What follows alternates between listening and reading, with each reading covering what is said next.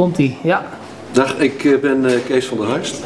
Ik heb eh, deze cursusdag heel erg interessant gevonden. Hij is erg laagdrempelig, enthousiaste mensen, enthousiaste instructeurs, leuke opdrachten. Dus het is beslist de moeite waard.